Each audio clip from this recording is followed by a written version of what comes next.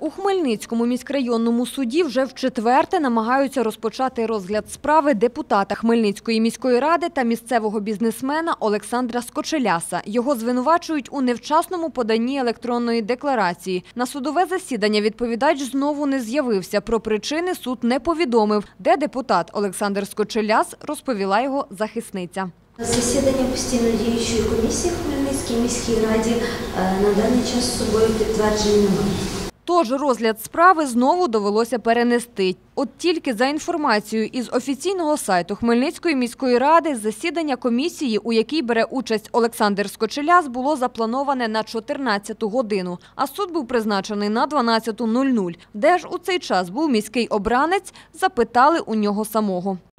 Готувався до комісії сьогодні. Уже в четверте чи в третє? Що в четвертий чи в третій? Ну, вже три судових засідання, як мінімум, було. У вас все не було. Сьогодні лише ваша представниця була.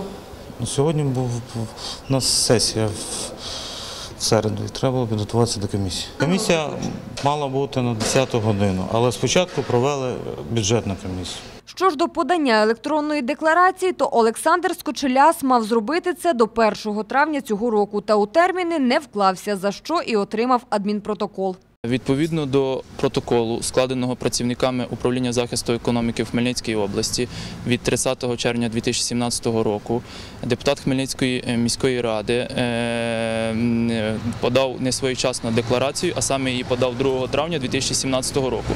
Відповідно до чинного антикорупційного законодавства, строк подачі е, електронної декларації депутатам мав скласти до 1 травня 2017 року. Там вихідні були, не працювала база, ви ж знаєте.